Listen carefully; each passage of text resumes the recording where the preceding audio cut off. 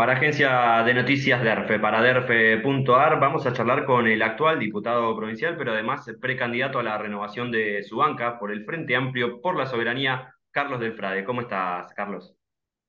Un gustazo, Andrés, ¿cómo estás vos? El gusto, el gusto es nuestro, Carlos.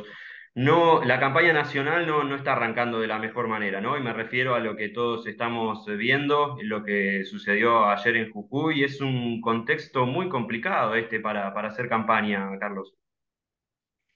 Sí, porque además la discusión de fondo es de quiénes son los bienes comunes, de quiénes son las riquezas de cada una de las provincias, eso es lo que está en juego en definitiva la discusión en la constitución de la provincia de Jujuy lo que pone en juego no solamente es la posibilidad de la represión de la protesta, sino especialmente de quién es la riqueza que está en el subsuelo de la provincia de Jujuy, en este caso el litio, pero también el litio lo que pone en manifiesto es la lucha por el agua, porque la producción de litio genera mucha cantidad de agua que se va perdiendo y esto es algo que hoy aparece casi te diría en distintos lugares de América del Sur.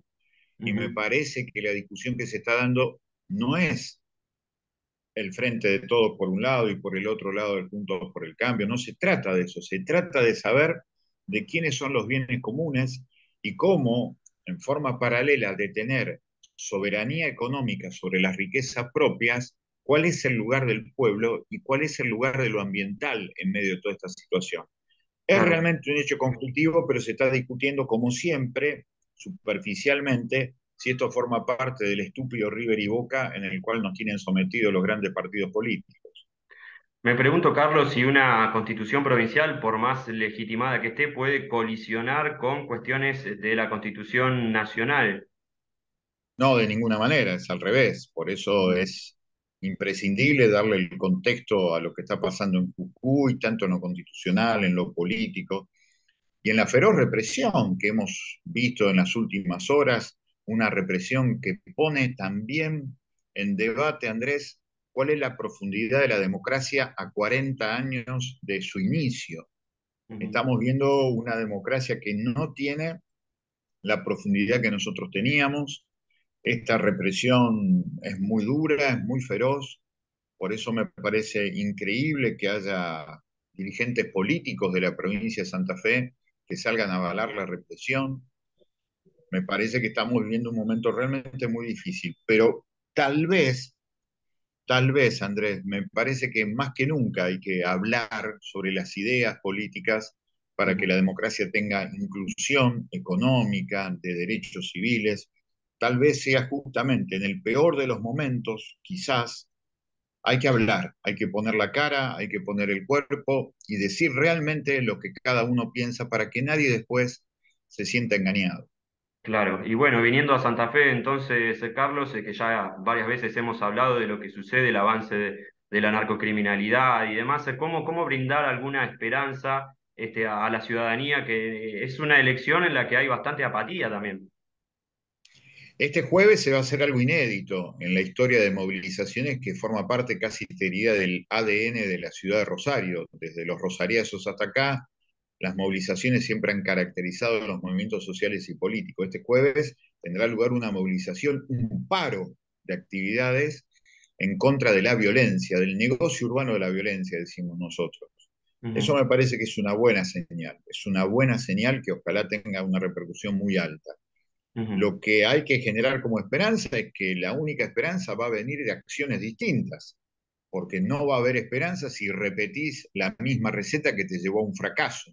Por eso me parece que es fundamental que en las comisarías que hace años trabajan para las bandas narcopoliciales, dejen de poner comisarios al frente y nos pongan a nosotros, a las representaciones políticas de las distintas fuerzas, para hacernos cargo por lo menos de una limpieza que es fundamental que en los patrulleros, en lugar de estar los que son cómplices de las bandas narcopoliciales, esté gente que realmente trabaje bien. Y en forma paralela, empezar a ver que la sangre derramada por la cobardía que tienen estas bandas narcopoliciales, el dinero que sale de ahí, que se lava en el centro de la ciudad de Rosario, alguna vez genere allanamientos y se pueda meter preso a los banqueros que están detrás de se me, Mutió tu micrófono, Carlos. Micrófono. Hola, hola. Telefónico que ha venido. Ahí sí, me decías de los banqueros. Y los banqueros que son los que realmente lavan el dinero en el centro de la ciudad de Rosario, como pasa en el centro de Santa Fe o en el centro de Capital Federal o de Córdoba. Claro, Eh, pero cómo, este, yo coincido eh, con lo que estás diciendo, Carlos, pero cómo hacerlo sin el, sin temor, sin pensar que esto puede derivar en una guerra, no sé, civil, este, porque lo de la policía es algo que sabemos de hace mucho tiempo.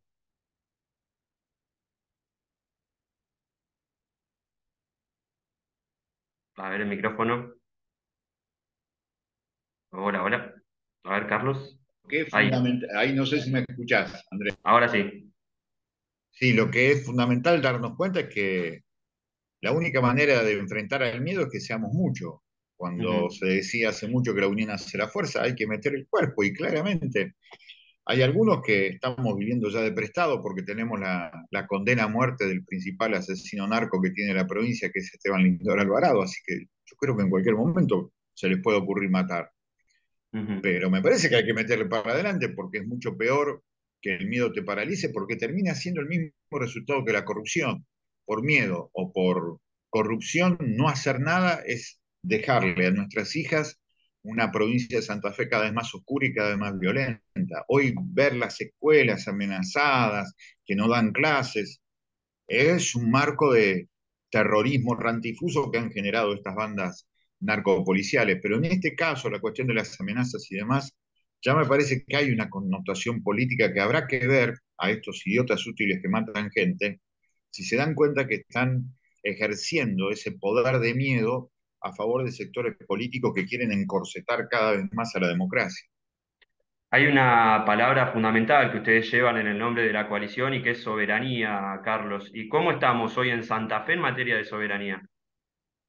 Y estamos mal porque la mayoría de la riqueza santafesina se va. Nosotros producimos en la provincia de Santa Fe 50 mil millones de dólares anuales y 20 mil millones de dólares se exportan todos los años. Y hay ujú. 660 mil personas por debajo de la línea de la pobreza, con lo cual tenemos muchísimo menos de lo que producimos. Las riquezas de Santa Fe se van, se extranjerizan fundamentalmente. Entonces, es indispensable recuperar la soberanía económica, recuperar el Banco Provincial de Santa Fe, que paguen impuestos las grandes exportadoras, que son solamente 20, para que deje de pagar impuestos la clase media y los sectores populares, para que además se produzca esto de la recuperación de los puertos a favor de la provincia de Santa Fe, empresas provinciales de alimentos. No puede ser que en los 19 departamentos no haya empresas departamentales de alimentos para gambetear los efectos de la inflación, que son las tasas de ganancia que trasladan las grandes empresas formadoras de precio a la gente. Me parece que hay que, primero, recuperar, como siempre digo yo, la soberanía de la cabeza, pensar desde nuestra cabeza, desde nuestras necesidades, y después generar esto, recuperar la riqueza producida para el pueblo argentino, el pueblo de Santa Fe, para las grandes mayorías. Así que somos una provincia absolutamente colonial. Carlos, viendo el mapa nacional de quienes podrían ser candidatos, nos vamos a enterar al fin de esta semana a presidente, a presidenta. Eh, ¿cómo, cómo la ves a esa? Las pasos son muy complicadas, incluso nosotros que siempre en las últimas elecciones siempre terminamos votando por alguna formulación de aquello que se llama el espacio nacional y popular, ahora es tan complicado porque si sale Massa como candidato a presidente no me da ninguna gana, así que yo te diría que en estas pasos, en lo, en lo personal estoy más inclinado por alguna fórmula de izquierda que por alguna que otra fórmula. Después se verá si vamos a la final entre los proyectos del neoliberalismo contra lo nacional y popular. Ya en su momento voté a Scioli, lo voté a Fernández.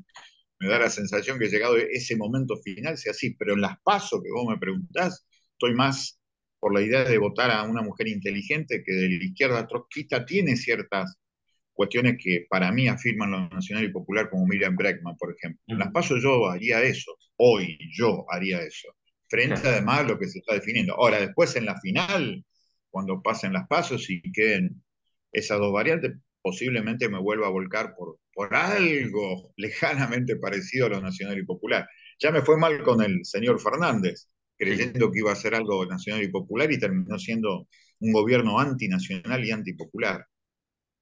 Claro. Carlos, eh, como siempre te agradecemos por tu tiempo y la seguimos pronto.